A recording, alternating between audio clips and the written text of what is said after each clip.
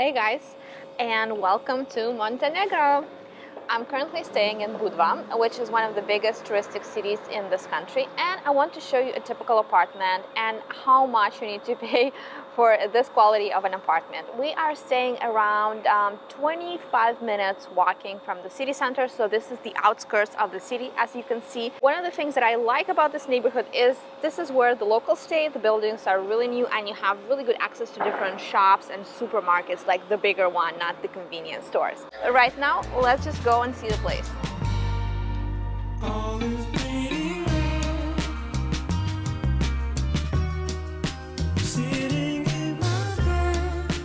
This is a studio apartment with one bedroom. I'll just walk you through this area. So I think we need to start with the small corridor. It seems tiny, but it's very, very functional and I love this part. So here is all my makeup, the mirror, and then we have this cabinet for all kind of um, bags and stuff we need to take, or maybe like medical mask we need to take before going out.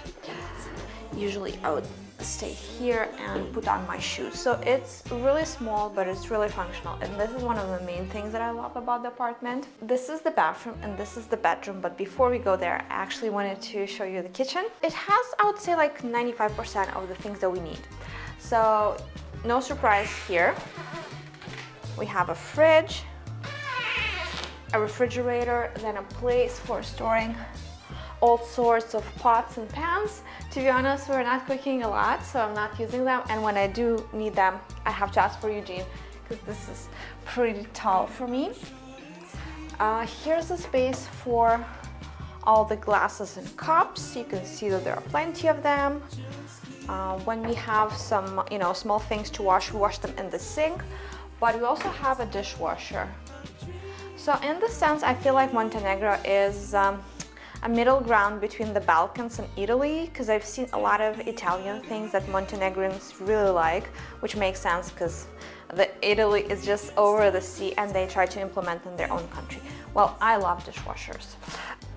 You know, a cooking surface, microwave really important because sometimes you don't want to dirty your dishes you just want to heat up something really quick uh, then we have you know cabinets for all kind of snacks so overall it's very functional and we have breakfast right here so I would sit here, Eugene would sit there, and we still have two seats for friends that never come because we don't have friends here. Anyways, in case you're interested where we put our luggages, one is here, it's a huge one, there's no you know place to fit it, and the other one is here. And this is the living room area. So Eugene works here and I work in the bedroom that I'm about to show you. And this is really comfortable. So like we spend a lot of time here we have a nice table. Oh, and one more important thing is obviously the AC. I've just turned it off, but during the summer it's impossible to stay alive in uh, Budva uh, without an AC. Like, you have to have it. Look how this window opens. Well, arguably amazing because I feel like not many of you are fans of um, a parking lot with buses, but on the other hand, you also have the mountain. So yeah, this is really good. And from here, you can see our tiny balcony, but we are going to go there at the end of the tour through the bedroom. We have the shutters. We put them when it gets really hot during the day uh, with you know the bright sun or sometimes in the evening let's go to the bathroom. You'll have to bear with me because um, uh, there's uh, the ventilation together with the lights, so it'll be pretty noisy. Stick in here. Okay, so this is the bathroom. No, no big surprises here. We have a boiler for hot water and it's broken and this is like the bane of our existence because we have to put this bucket here for when the water boiler leaks. But other than that, I think it's a pretty normal bathroom. Shower, washing machine, toilet. We don't have a clothes dryer, which again is very normal for Montenegro. They usually hang out their clothes to sun dry. So this is something that we are uh, doing here. We do have this cabinet where we store stuff, but it's usually, you know, things that we don't really need, like let's say I wash my hair with something and I put it here and forget about it. But the regular things are here and it's not, not enough space for them. Okay, last room, the bedroom.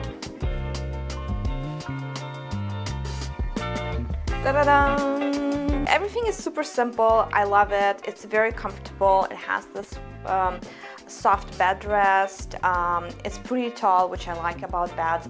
And each of us has their own nightstand, which I would say is a pretty big rarity for Airbnb apartments. You would think people can't mess this up, but they do mess this up. And we also have two power sockets, one for the lamp and the other one for charging your devices. Very big wardrobe. This is something that I really like about this apartment. So in this section, we put our clothes. Um, and then here is for, you know, socks and intimates. And I have my drawers and Eugene has his, so we have a lot of space here. And the other section is more for, you know, stuff that we need around the house. We have a couple of bags that we use occasionally, then extra pillows, blankets, uh, towels. We need to go to the terrace. You go first.